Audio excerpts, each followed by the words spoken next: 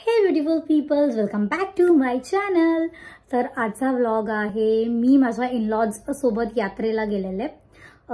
To my in-laws hometown तर मग तो व्लॉग तुम्ही आता एन्जॉय करा. आणि मी तोपर्यंत रेडी होते बिकॉज मला जायचं आहे बाहेर. तर त्यातले पण काही ग्लिम्स मी तुमच्यासोबत शेअर करेल. मी रेडी होईपर्यंत तुम्ही ती यात्रा बघून या.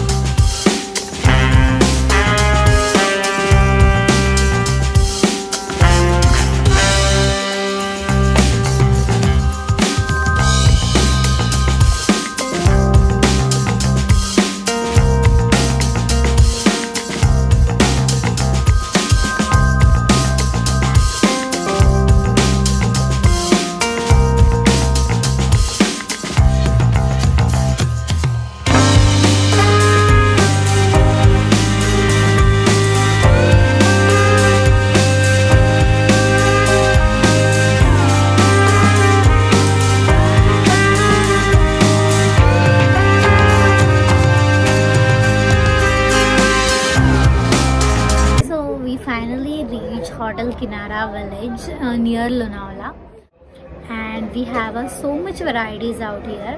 इकडे तुम्हाला बघायला खूप सारे वेगवेगळ्या टाईपचे थिंग्स मिळतील जसं की different different kinds of shops आणि खाण्यासाठी वेगवेगळे places so I gonna show you those things also आता मी अ, एक प्लेस आहे. इथे आम्ही जेवायला आमचं एक काइंड ऑफ काय आहे cottage cottage kind of kind of cottage for couple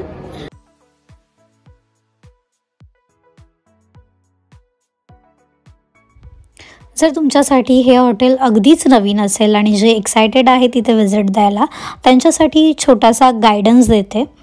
की जर तुम्ही बॉम्बेवरून लोणावळ्यामध्ये येणार असेल तर ते तुमच्या लेफ्ट हँडला पडेल हे हॉटेल आणि जर पुण्यातून लोणावळ्यामध्ये येणार असेल तर ते तुमच्या राईट हँडला पडेल. लोणावळ्यापासून अगदीच जवळ आहे आणि हायवेला आहे तर ते तुम्हाला इझिली सापडेल. इथला ॲटमॉस्फियर प्लस तिथला व्ह्यूज खूप छान आहे. तुम्ही कधीही जाऊन तिथे विजिट करू शकता.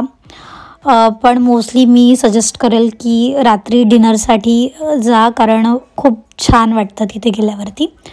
But you are kind of lunch people तर तिथे लंचसुद्धा खूप छान मिळेल. आणि छोटे जर तुमच्या घरामध्ये किड्स असतील तर त्यांच्यासाठी प्लेग्राऊंड आहे.